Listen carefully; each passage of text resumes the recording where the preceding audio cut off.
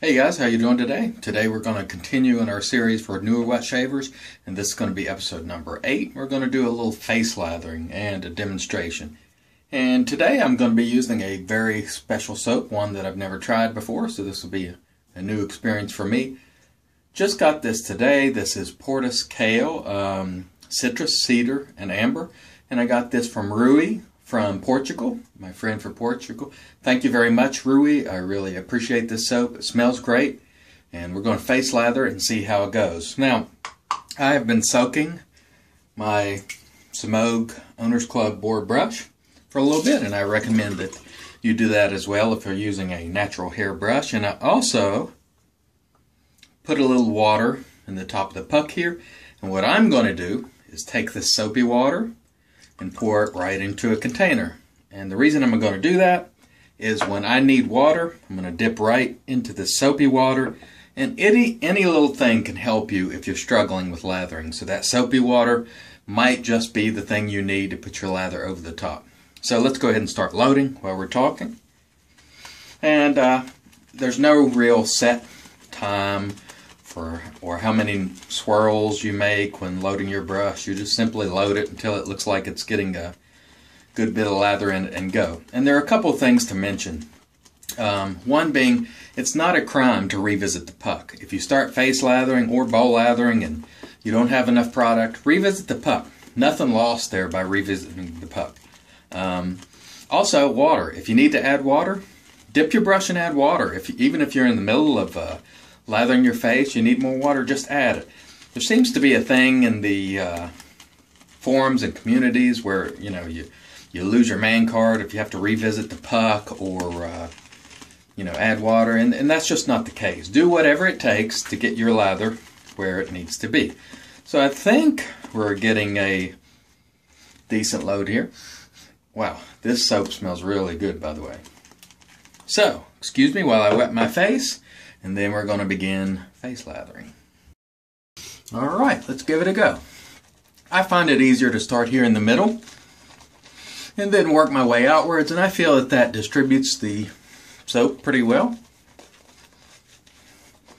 And really, there's no magic here. You just, you know, some people make circles. I don't. I kind of just like to use back and forth motions.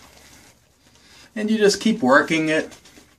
And as you can see, we're building a Nice lather. Boy, this soap smells great. And once you get, you know, a decent uh, bit of lather built, if it looks too thin, you can add product and water. Um, if it's too thick, again, add water. But once you get it worked pretty well, you can start to use painting strokes like this. And you have to contort your face and all this kind of silly stuff. But ultimately, you just want to get a nice, slick lather. And this one's starting to look pretty good. So let's see. Might need a little uh, water actually, but let's see how we. Yeah, you can actually feel it. If you put your finger to your face and run it down, it should glide very easily. You should feel a little bit of cushion. And if that's the case, you're probably doing pretty well. Also, you can obviously see how much lather you have. Another thing too, if you take your hands and just scrape this lather off, like so, and you still feel some residual slickness there, that's a good thing too. It means you're good, good and hydrated. It's a sign of a good soap. And again, this is very slick even after I've scraped the majority of this lather off. That's a good thing. That's a very good thing. So let me rinse this off and we'll go for another coat of lather. I'm not even going to bother rinsing it all off. We'll just, uh, we'll go again. Great smelling soap, this Portus Cale. Wow.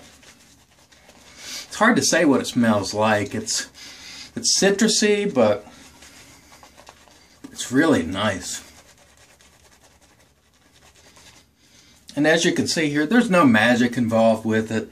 You know, if I felt like I didn't have enough product, simply revisit the product. If I don't have enough water, add water. No harm whatsoever in doing that. I'm getting lather all over the place, but that's fine. We're just having fun, or at least I am. because this stuff smells great.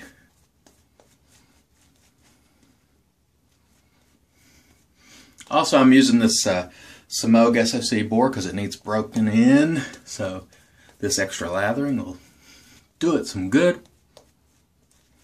And again, we're getting a decent lather. Is it perfection? No. Is it great for a serviceable shave? Yes.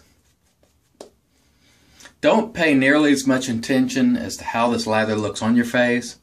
Pay more attention to how it performs, how the razor glides. Even if the lather doesn't necessarily look great, if your razor glides, um, if you get protection there, if you're not getting irritation, go with it. Now, obviously, if you have spots where there are no lather at all, that's not a good thing, and you don't want to go with that. But even right now, this is not a perfect lather by any stretch, but I guarantee you the razor will glide easily. I'll get a great shave from this lather. And let's look here again. Scraping most of this off, and we're still feeling really slick. And that's a sign of a good soap. At least I believe it is. Now, if you rinse your soap off or you scrape it off and it feels completely dry, not hydrated, not slick, maybe not a great soap. But this is feeling really good. So let me go ahead and rinse this a little bit and then we'll feel it and see how it feels. Alright, so I've rinsed my cheek a little bit and still there's some residual slickness there. That's a very good thing, sign of a good soap, in my opinion. So here we had uh, some basic face lathering. There's not really much to it. Let me show you what we have left uh, in the brush here, which is a decent uh, amount of lather. You can put that between your hands, and it should be slick. There shouldn't be uh, any friction whatsoever when you're running your hands together. Again, that's sign of a good soap and a good lather, feeling slick, feeling cushion, glide. That's exactly what you want. Not really an exact science here. You just have to practice and you'll get it. The main thing is work the lather that provides for a great shave. Don't worry so much how it looks, worry how it feels, and worry about the shave that it gives you. And as always, we say have a great day. Have a great shave.